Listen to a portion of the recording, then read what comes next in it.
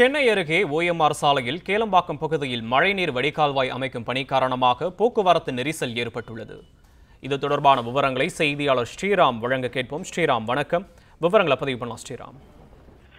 செங்கல்பட்டு மாவட்டம் கேளம்பாக்கம் பகுதியில் இருக்கக்கூடிய வீராணம் சாலை சந்திப்பு ஓஎம்ஆரில் இருந்து சென்னை செல்லக்கூடிய முக்கிய சாலையாக இருக்கிறது. இந்த சாலையில் மழைநீர்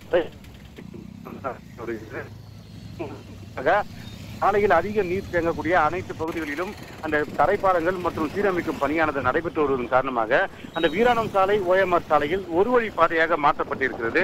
இந்த ஒரு வழி பா- பாதை காரணமாக இரு இருபுறமும் வாகனங்கள் எதிர் எதிர்ப்புறமும் வருவதன் காரணமாக காலை மற்றும் மாலை நேரங்களில் அவ்வப்போது போக்குவரத்து நெரிசல் ஏற்படுகிறது. நேற்று கூட மூன்று மணி நேரத்துக்கு மேலாக ஆறு மணியிலிருந்து எட்டு மணி வரை போக்குவரத்து நெரிசல் காணப்பட்டிருக்கக்கூடிய சூழ்நிலையில் தற்போது மீண்டும் காலையில் வேலைக்கு செல்பவர்கள் மற்றும் சென்னையை நோக்கி செல்பவர்கள் அந்த ஓஎம்ஆர் சாலையில் சிக்கிக் கொண்டார்கள். அந்த அதன் காரணமாக ஒரு வழி பாதையில் மட்டும் வாகனங்கள் அதிகப்படியான கனரக வாகனங்களும் கார்களும் செல்வதன் காரணமாக எதிர் எதிர் திசையில் சிக்கிக்கொண்டு எந்த ஒரு வாகனங்களும் செல்ல முடியாது இருந்தது இருப்பினும் போலீசார் அந்த பகுதியில் போக்குவரத்தை சரி செய்யும் பணியில் ஈடுபட்டிருந்தாலும் மாலை மற்றும் காலை நேரங்களில் ஏற்படுவது உடனடியாக அந்த போக்குவரத்தை சீர் செய்ய வேண்டும் என பொதுமக்கள் கோரிக்கை வைத்திருக்கிறார்கள்.